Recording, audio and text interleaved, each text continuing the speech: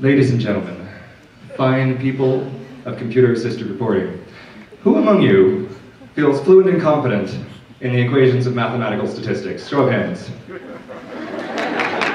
I'm surprised we got that many. Well, I'm here to tell you there's a better way. There's a better way with a newfangled device I like to call the computer. Resampling, that's right. Reduce, reuse, resample. Solve every problem with this one weird trick. How does this work? Let's take confidence intervals.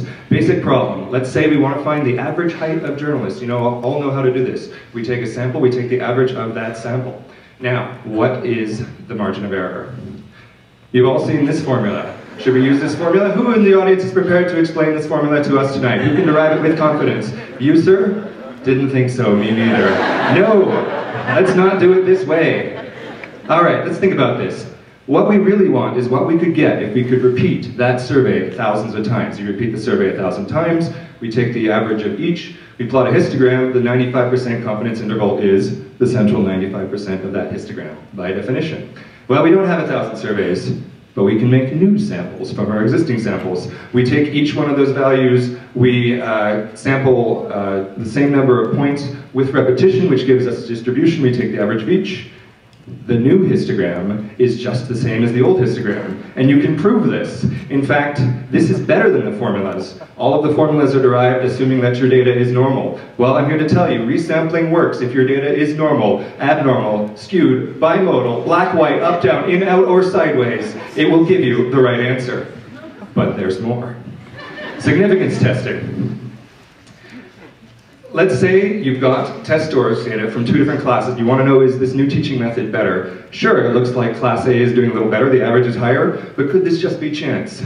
No! Let's not do this. This is a piece of the uh, two-sided t-test for two samples of different size and different variants. Who wants to apply this today? Not me. We have a computer. So, let's work this out. Reasons that a student's performance could be different boils down to because of the class they're in, like their teacher, not because of the class they're in, like their parents. Let's eliminate the first factor and see what happens. How do we do this? That's right, resample. What we do is we take the class assignments, we scramble them, we permute them, we, we break the relationship between students and class. So there's our original data on the left.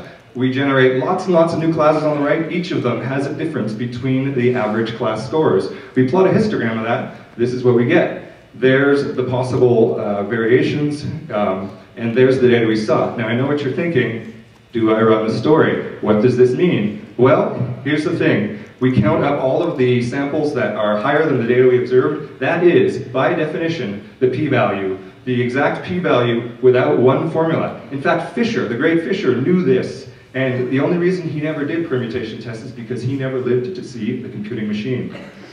There's more. Is there anything that resampling cannot do? Scramble your sample. Put your data in the grader. In this case, the Wall Street Journal wanted to know, was there insider trading by executives? Now, I don't know anything about inside information, but I do know something about luck. So here's what we do. We take all of the trades they did over the last year, we randomly scramble them through time. We ask who got lucky, not just lucky, astronomically lucky. A few trillion resamples, and the answer pops right out. For the finale. Now, every educated person knows that two colliding black holes will emit a powerful pulse of gravity waves as they spiral inward towards each other to a catastrophic end. But we only observed this first last September. How did we do it? A continent-sized instrument which measures vibrations smaller than a proton.